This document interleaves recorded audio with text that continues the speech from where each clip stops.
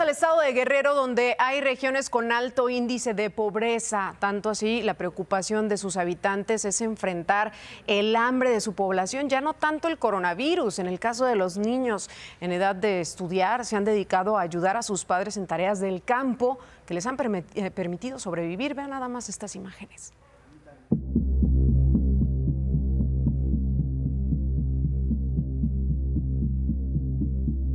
Entre los habitantes de los campos de amapola de la montaña de Guerrero, se habla más de la pandemia del hambre que de la del COVID-19. En estos campos, las secuelas del COVID son diferentes. Los niños desaparecieron de las escuelas y los poblados comenzaron a vaciarse por el recrudecimiento del hambre entre las familias dedicadas al campo. A los niños no los vamos a ver en las pantallas, ¿no?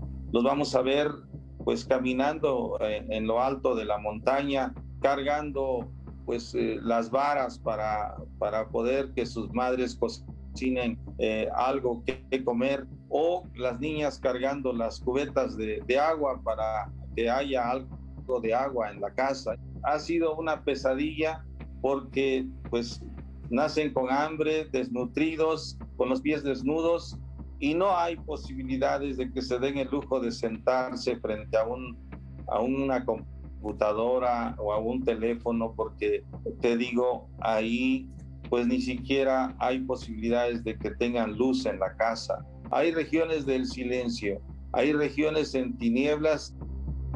De septiembre a febrero del 2020, más de 6.000 niñas, niños y adolescentes, la mayoría de la población indígena, no recibió clases virtuales. También pues se van a apoyar a, a sus papás en la siembra de la amapola, eh, niños y niñas, pues rayadores, podemos llamarle así, que pues en lugar de poder tener la posibilidad de sentarse en su casa, pues tiene que estar más bien en el rayo del sol, pues haciendo estas actividades agrícolas, ¿no? A la población infantil indígena ni siquiera se le observa. El rezago social que ya de por sí padecían se recrudeció por el hambre y la erupción del nuevo coronavirus desde el año pasado.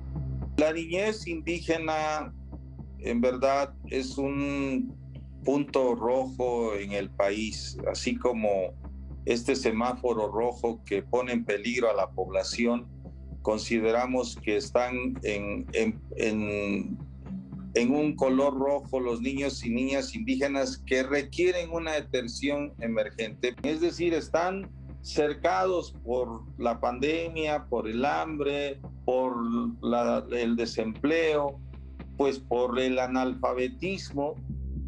Otros de los estragos en esta zona fueron las familias separadas que convirtieron a los poblados en sitios vacíos.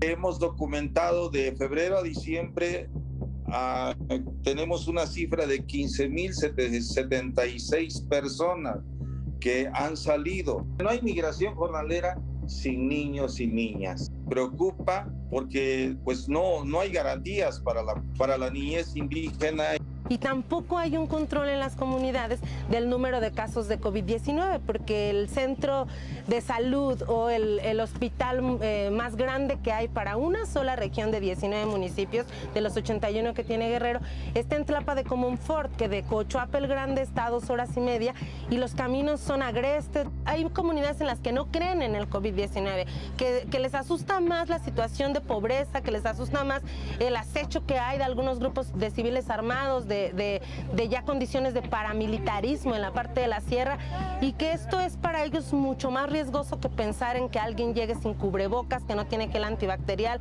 o que se, o que se va a morir por COVID-19 no es una de las preocupaciones. Para imagen, Claudia Solera.